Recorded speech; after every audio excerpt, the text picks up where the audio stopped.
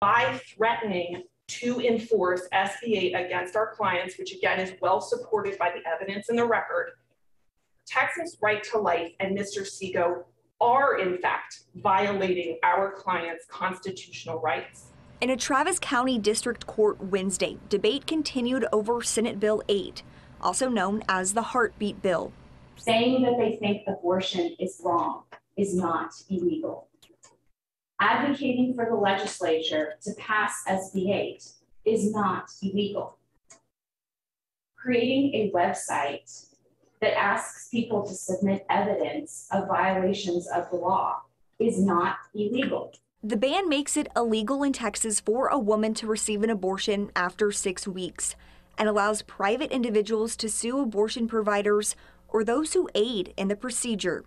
What they are not free to do is threaten to enforce an unconstitutional law against my clients that has the effect of not only threatening a constitutional violation to my clients, but to actually violating the constitutional rights of thousands of pregnant Texans who need abortion. The first half of this hearing was deciding on whether or not there was enough standing. The defendants say that it's not them from keeping the plaintiffs doing their job, it's the law. And that was met with pushbacks. The plaintiffs said that that's completely not true, and that if Planned Parenthood and other abortion clinics decide to keep going, that more and more defendants will just file more lawsuits. The plaintiffs are obviously very upset by this law. They are obviously um, upset by the actions of Texas Right to Life and John Seago, but that doesn't mean that they have standing to sue these defendants. Before the hearing, those challenging the ban spoke out. It's a terrifying feeling to not feel in control of our own body and our future. Advocates say that almost 99% of women who are seeking an abortion in Texas have had to leave the state.